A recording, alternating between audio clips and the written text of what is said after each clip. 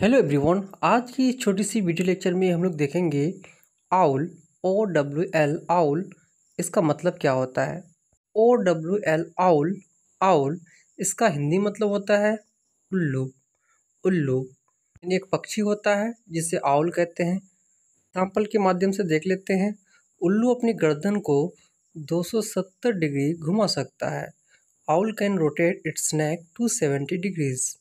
अच्छा लगा तो लाइक कीजिएगा, चैनल पर नए हो तो subscribe thanks for watching this video guys see you next video take care bye bye